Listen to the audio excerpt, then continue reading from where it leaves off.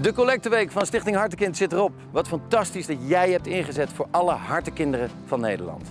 Namens 25.000 Hartenkinderen. hartelijk dank.